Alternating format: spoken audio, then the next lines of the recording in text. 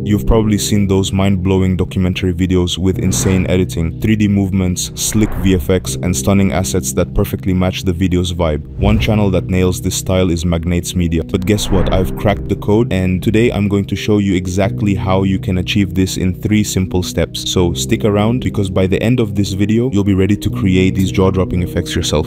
Let's kick things off with the most critical step, planning. If you want to succeed in anything, you need a solid plan and editing is no exception. Start Start by drawing or writing a storyboard for every shot you want to bring to life. Be specific about the effects and techniques you'll use. In most cases, you'll be working with 3D movements, which can get tricky without a clear plan. Here's an example of one page of a storyboard I created. Notice how I've detailed the effects, techniques, and 3D movements I'm going to use. With a precise storyboard, you're not just winging it you're executing a vision. Next up is creating or finding the assets for your video. Trust me, this step can make or break your edit. Assets are the images and elements you'll animate in After Effects and finding the right ones can be a real headache, especially if you're aiming for a consistent style throughout your video. But here's the game changer. AI. We can now generate custom assets in any style with just a quick prompt. Let's hop over to Leonardo AI, a tool that makes asset creation ridiculously easy. Pick a style, type your prompt, and boom, you've got unique assets ready to download and import into After Effects. It's fast, it's efficient, and it keeps your project cohesive. Now that you've got your assets, it's time to bring them to life through animation, especially your characters. Start by placing your assets in the composition, then isolate the one you want to animate. Here's how. Click this point right here, then use the puppet pin tool to add pins around the body parts. Remember, those pins need to make sense anatomically, or you'll end up with a monstrosity instead of a smooth animation. Once your pins are in place, select a pin and hit U to reveal the keyframes. Now skip a few frames forward, move the body part, and voila, You've got your first animation. But wait, it looks stiff and awkward, right? No worries, there's a one-click fix. Select all the keyframes and hit F9 to apply easy ease.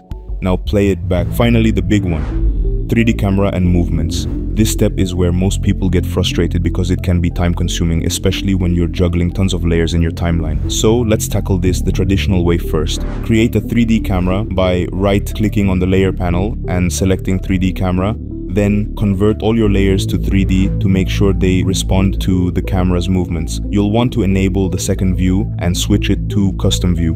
From here, you can push your layers back, scaling the background to fit the frame. Now let's animate the camera. Select it, hit P for position values and focus on the Z-axis for depth. Set up a simple zoom out by adjusting the Z value and add rotation by hitting R and tweaking the Z-axis rotation. Make sure the position and rotation values sync up or you'll get some weird results.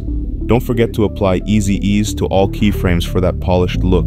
But here's the thing, it's a tedious process and you're going to have to do this multiple times. That's where my plugin 3DfyPRO comes in. It automates the entire 3D scene setup with just one click. No more manual camera creation or layer positioning. It's all done for you in seconds. And yes, I know you noticed the add shake button. That's right. You can even add realistic shake to your scene with one click. Check out this animation. It's the same result as before but done in a fraction of the time.